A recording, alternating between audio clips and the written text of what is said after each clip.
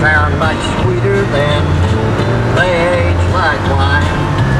Couples who will drop away. I'm on the road between Mansfield and Benalla, and I'm looking for a town whose name sounds like the country cousin of Swan Lake. These will be the good old days, 20 years from now. I'm told I might drive right past it. It's only got a population of 29.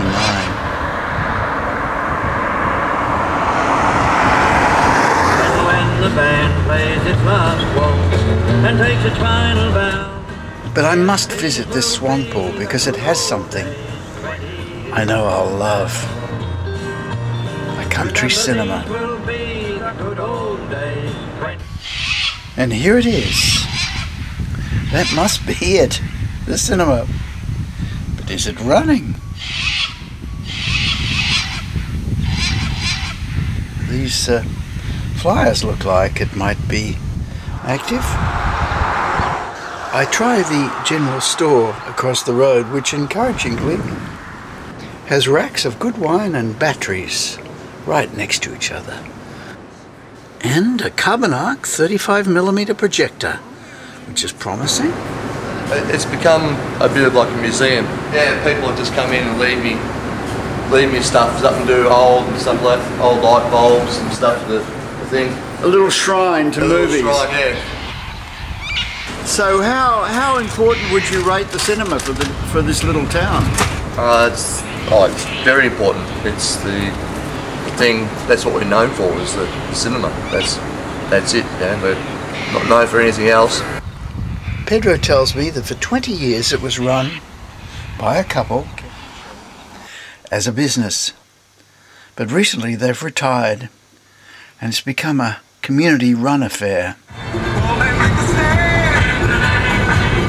I drive off looking for food, but determined to come back tonight and find some of the volunteers who run the place. The theatre plunges into darkness just as I get back. But there's a glimmer of light at the side. This must be the volunteers. Who were the people who started? The people who started and gave birth to this cinema about 23 years ago now are Kevin Smith and Shirley Swallow. And they met at a film festival. Their passion was to start up this cinema, which they did, and they ran it for 20 years. To and the theme and the flavour was a 50s cinema. Really? That was en- entirely Kevin and Shirley's dream. Made people very welcome. Kevin would wear a dust coat to do his projecting, and he'd come downstairs in a tux and talk to people in the interval and say hello.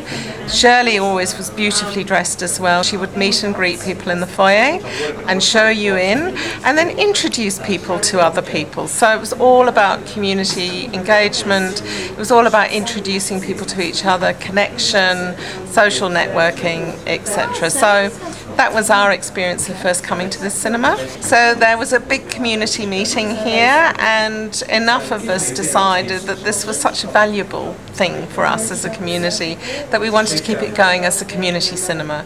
And so now, with Shirley and Kevin's support, um, they, we've set it up as a community cinema with a committee that's made up of all volunteers. And so there's a, a catering team who make the best chop tops ever, and then there's a programming team, there's a front of house team, there's a projecting team, and yeah, we have. This is a working bee to do the mail out of the next program.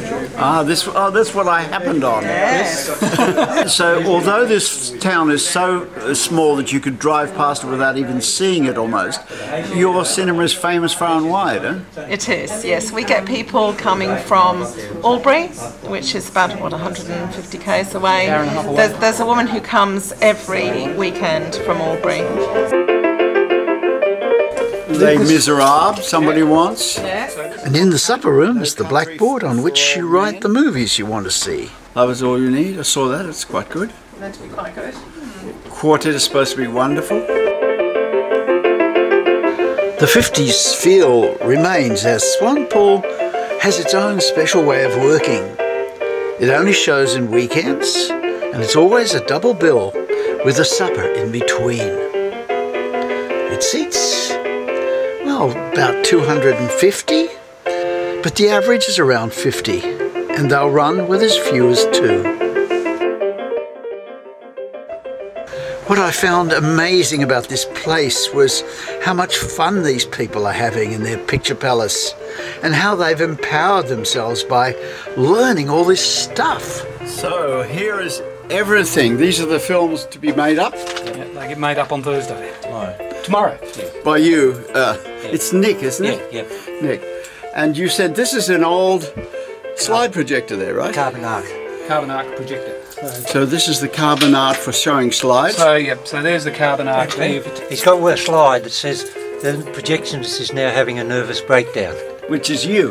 No, no, I don't do the projecting. I only do the makeup of the films. And I've got a worksheet here that I I draw up, and it tells you what films are on, what the format of the film is, Yeah. so they know which lens to put on the cameras. Yeah. Uh, whether it's CinemaScope or widescreen or Uh, so here we have the 1950 adverts, right? So Let's have a look.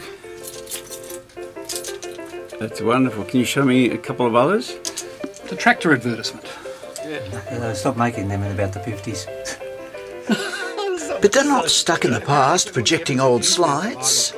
They've got 16 millimeter, they've got 35, and they're soon to get state of the art digital projection.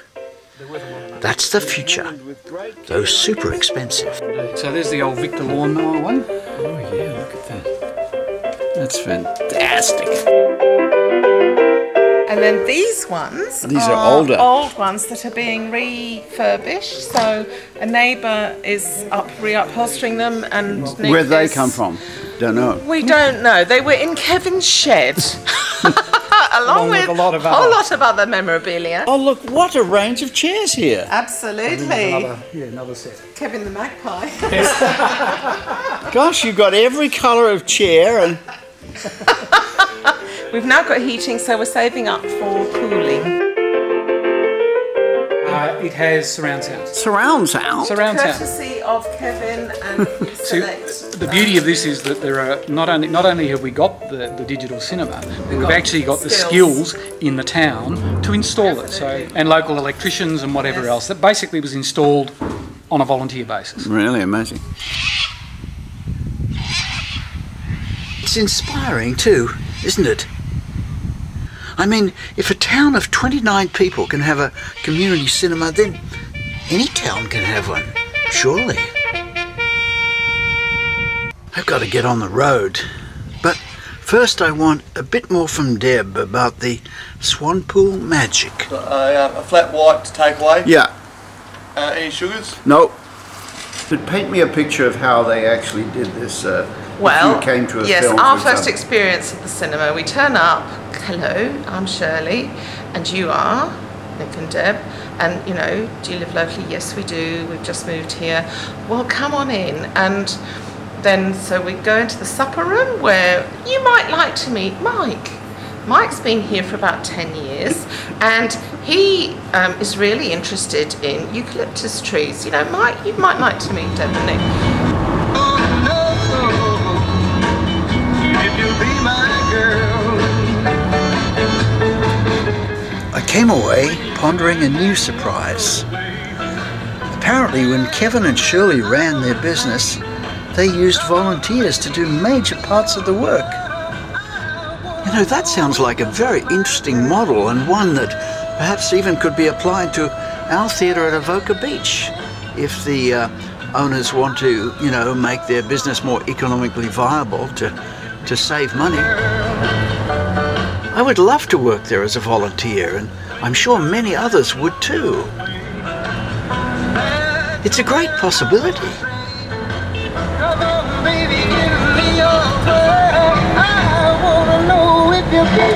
Girl.